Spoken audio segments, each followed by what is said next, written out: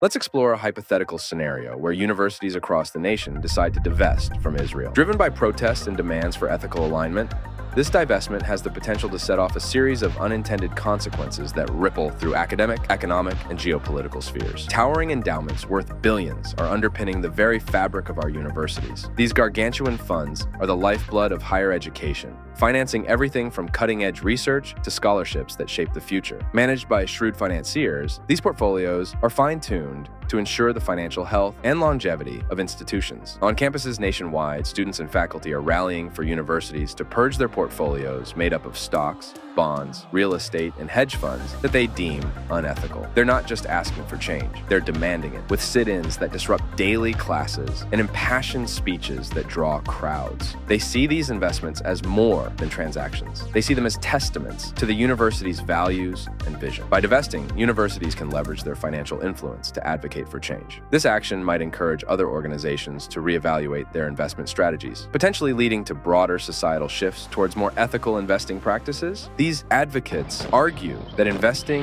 in regions with contentious political actions contradicts the mission of fostering a better future. One immediate consequence of investment could be the strain on academic collaborations between U.S. universities and Israeli institutions. Israel is a hub for technological innovation and scientific research, with numerous partnerships spanning fields such as medicine, engineering, and environmental science. A blanket divestment could jeopardize ongoing research projects, affecting innovations in critical areas like cybersecurity, water conservation, and biotechnology. The academic fallout might extend to limiting opportunities for faculty exchanges and joint research initiatives potentially stifling academic freedom and progress. Economically, universities might face immediate backlash in the form of reduced funding. This could come from alumni and donors who disagree with the divestment stance. Such a reduction in donations could have a direct impact on scholarship funds, new faculty hires, and the development of campus facilities. Moreover, opportunities for study abroad programs in Israel could diminish, limiting cultural and educational exchanges that benefit student growth and global understanding. Additionally, internships and job opportunities linked to Israeli companies or those with strong ties to Israel could see a downturn, potentially affecting career prospects for graduates in sectors like technology and international business.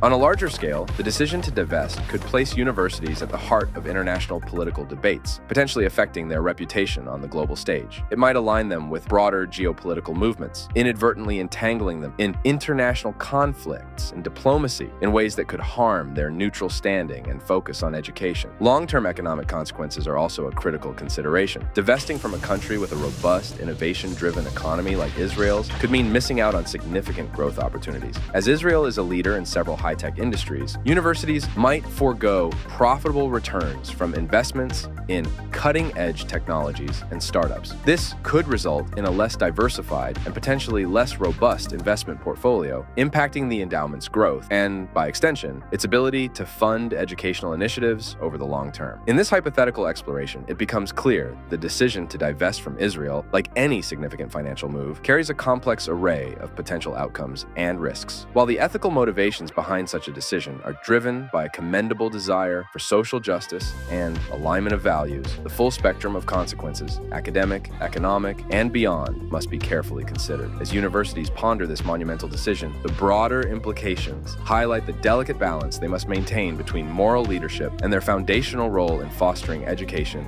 and innovation. The struggle underscores a broader societal conflict about money, morality, and the immense power vested in our places of learning. Until next time, hit that like button and subscribe to Cash Money Bros, where money and knowledge grow.